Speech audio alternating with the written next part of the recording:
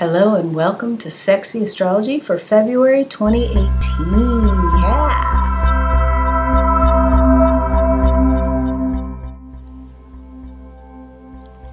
Hello, dear Taurus, from Sexy Astrology for the month of February 2018. Yeah. Wow, you are the center of it all. If you're an artist, probably you're doing really well right now. You're probably selling some stuff. Greed is virtue? Question mark.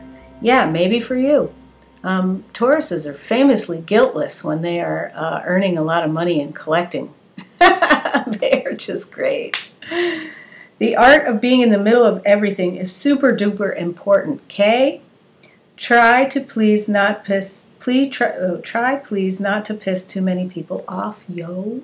So what I'm saying there is that I think if you're in the center of everything and you're a very dynamic individual, you really, really want to focus on taking care of yourself so that your energy does not exude um, like you don't trip over a billion things trying to get the point across. You know, so really do some extra centering meditation because there's a lot of people watching you and a lot of people are on you. Enjoy.